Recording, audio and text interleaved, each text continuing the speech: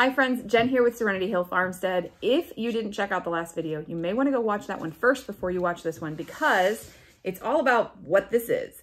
Now in that video, we talked about identifying wild turkey tail mushroom and harvesting it. And we talked about some things that we're gonna do with it and the plans for it on our farm. So if you wanna hear all of that video, definitely go check that one out. I'll stick it down in the description box for you to, to go click on that. Uh, but I brought it home and by the time I got home, I got my family all settled, got home animal chores done and everything, it was dark. I didn't have the light anymore to continue to film. Obviously, I processed it about halfway. Well, it's probably about 75%. Unfortunately, I couldn't get that on camera. But basically what I did is I took that wild mushroom and I started working with it right away because mushrooms, especially thin mushrooms, can start drying out right away. And we want to use them um, as fresh as possible to get the maximum medicinal potency out of them. So what I did is I cut off kind of the end parts and I actually have them saved in my fridge because I want to attempt to inoculate uh, some down logs that we have. So we'll see how that goes. I'll do another video on that to see how, how it works and just kind of follow the process. So I put them in the pressure cooker, covered them with about two-ish inches of water, and I pressure cooked them for 45 minutes. You can do this on the stove, but that takes hours, and I did not have time or the desire to babysit that into the evening hours.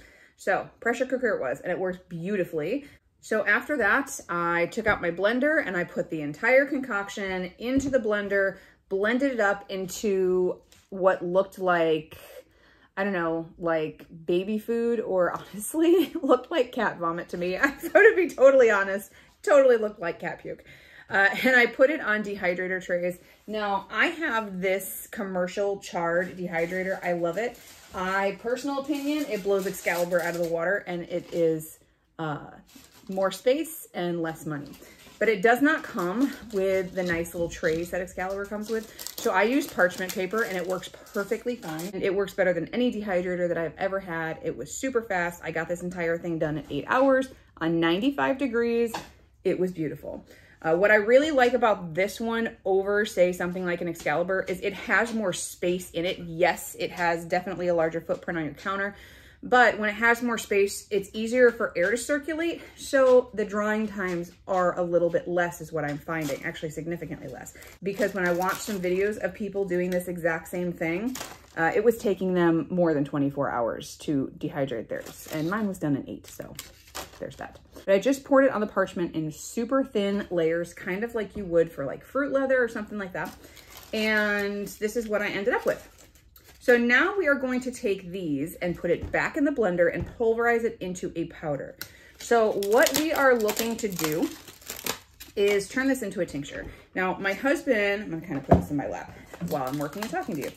My husband really wants to try this turkey tail in his coffee. So I'm gonna save a little bit of the powder for him to be able to do that.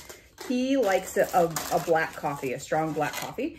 And um, he said he wouldn't mind some like, you know, earthy mushroom flavor in there. So we're going to do that for him and see how he likes it. If it's something that he likes, then uh, maybe I will see about making more of this for him. This mushroom, like I said, was wild harvested. So it wasn't like, you know, we can just grow more. We have to inoculate logs and it takes some time. Turkey tail has quite the season. If you want to harvest it, definitely go check out that video for the details, but it has an extremely long season, and I don't think I mentioned this in that video. I should have. It grows basically from like late spring until like now. It's still, it's still out there. It's January and it's still out there. But that's because we don't have a whole bunch of snow and ice and super, super cold weather. Winter I don't know if it's showing up this year, but it's not here yet. We have plenty of mild weather for it to still continue to thrive. Uh, so I could probably get another turkey tail harvest if I wanted to this year. I might, I might. We'll see if we have time for it before winter shows up. The primary reason I wanted to tincture this is because uh, I can get more use out of it in a tincture than I can in a powder. Now in a powder, I could add this, like I said, to my husband's coffee. He wanted to try that. And my cat is going nuts. So if you hear meowing, and the occasional cat feet running all over the place. He's just, it's crazy hour. All right, so here we go. Uh, I want to, I could take this powder and I could put it into soups. I can put it into stews. Uh, we could just add it to smoothies, to my husband's coffee. But what I want to do is tincture it because when you tincture, you are making a more concentrated uh, medicinal preparation. So if I do that, it will take less of it for us to get the benefits. And looking at dosages and things like that, it's gonna help us last longer and let more of us be able to utilize it uh, and see how it works for us.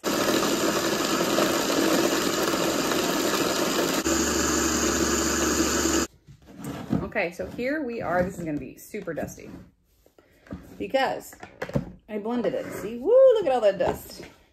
And while fabulous benefits here, you never wanna breathe in your herb dust at all because that can be an irritant to you. so don't do that. All right. So I have a few jars here because I wasn't sure exactly how much I was going to need. And I have my stainless steel funnel. So what I'm going to do is just do like a 50-50 mix here from what I've read. This is what we're going for.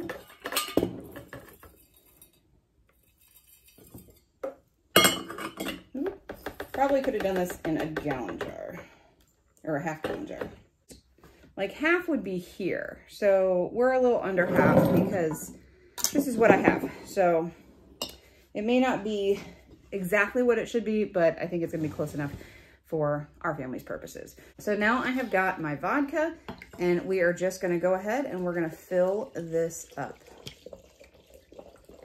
And this is going to sit on the apothecary shelf in a nice, cool, dark place for, I'm going to say, um, probably eight weeks. I think I'm going to give it eight weeks because normally with mushrooms, it's going to be longer, even though this has been like dehydrated and pulverized and it's now very fine and it doesn't have to get through what other barks, seeds, berries, things like that would need that longer um, tincture time, I am going to just go ahead and give it the eight weeks. It's not going to hurt it to go a little bit longer.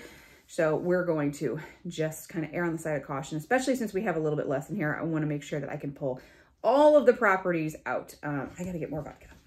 So let's talk about the benefits and some of the properties of turkey tail mushroom. Turkey tail is one of the most studied mushroom that there is. Um, it has been, there's been a lot of publications out. There's been a lot of studies done on it, specifically about its ability to help um, cancer patients with specific types of cancer. It is very helpful for um, boosting the immune system. So what they look at it specifically for in the studies that I've read is um, prostate cancer was the big one that I read the most about. There were other cancers that were mentioned, but prostate cancer had the most information in the studies that I read.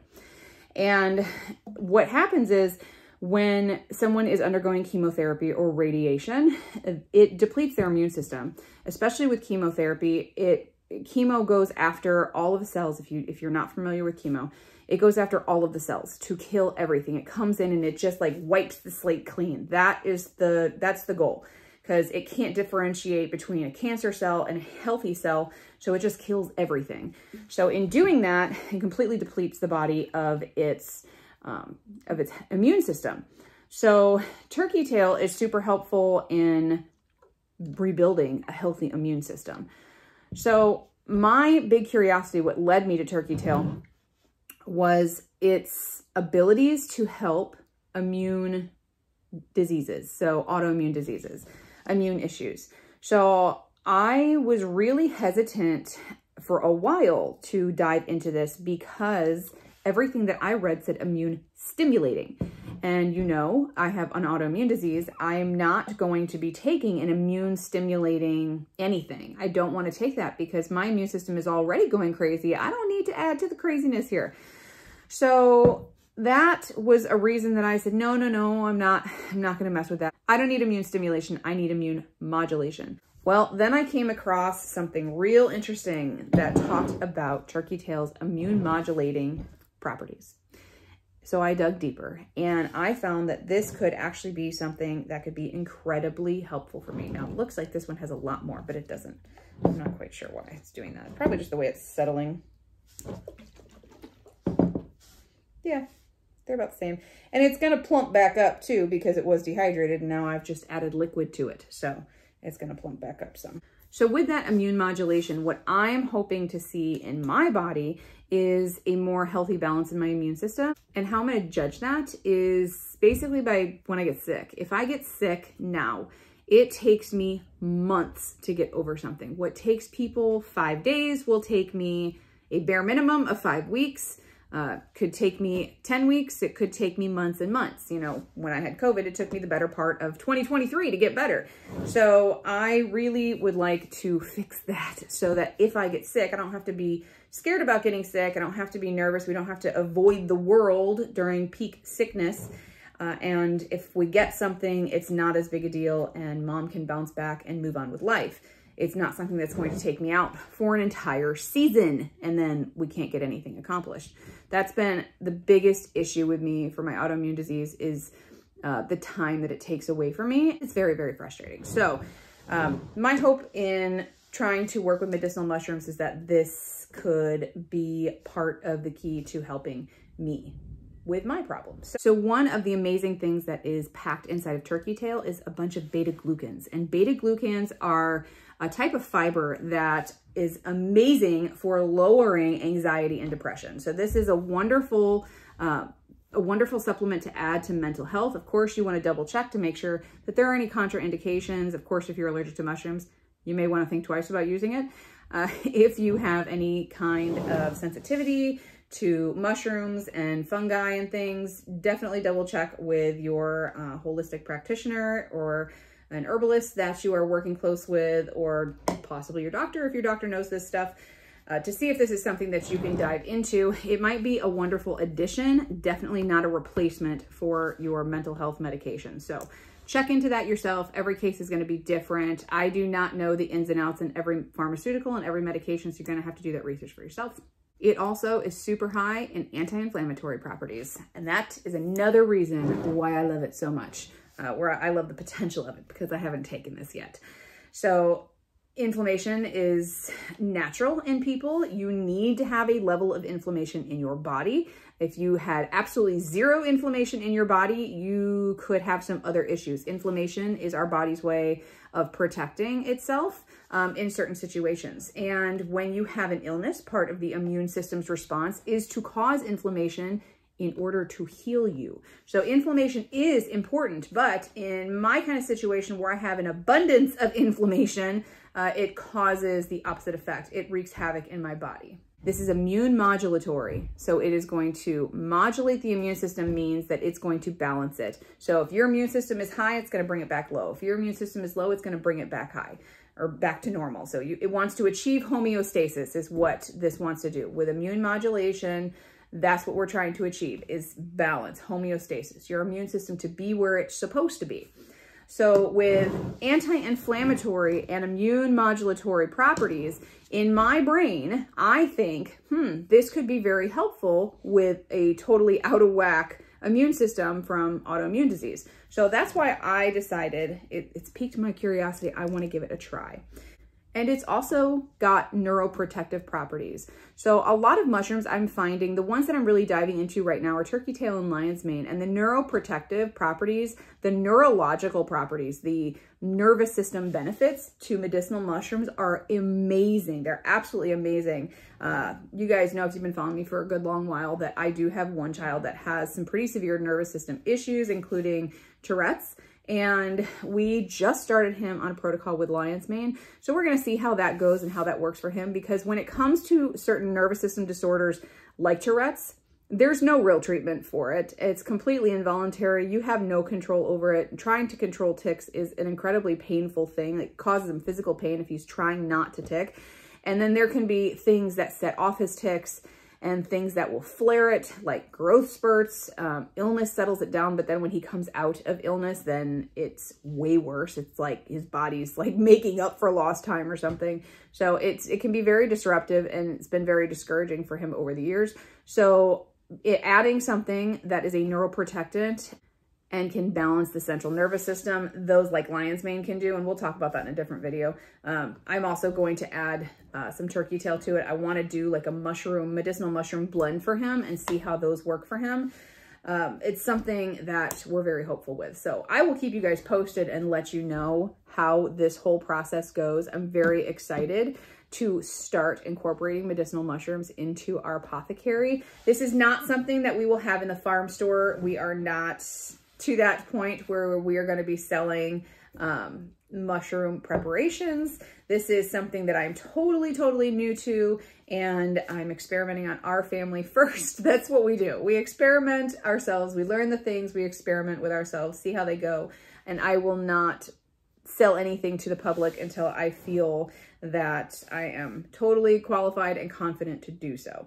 So this is a fun, nice little you know, science experiment too. If you, if you like that kind of thing, uh, definitely, again, check out that wild turkey tail harvesting identification video so that you could do this yourself.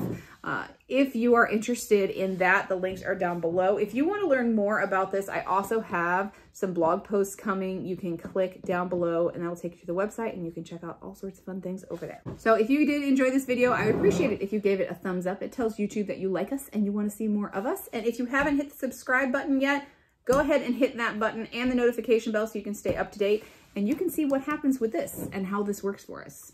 I'm excited for it. Thanks for hanging out. We'll see you in the next one. Bye.